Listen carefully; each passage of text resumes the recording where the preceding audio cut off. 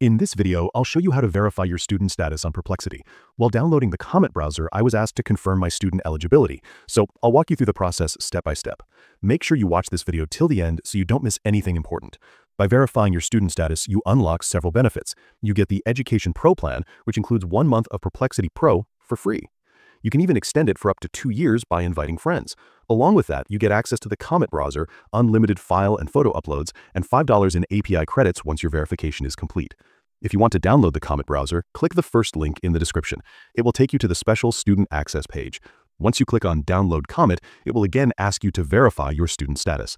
Both the methods of student verification on the Perplexity website and while downloading Comet remain the same.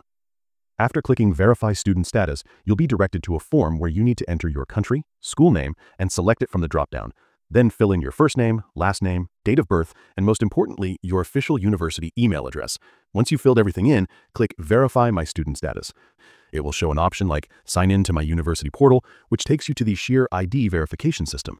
You can continue with this method or return to the previous tab and select Upload Proof of Enrollment. On this page, you'll see clear instructions. Commonly accepted documents include a student ID card, enrollment letter, or transcript.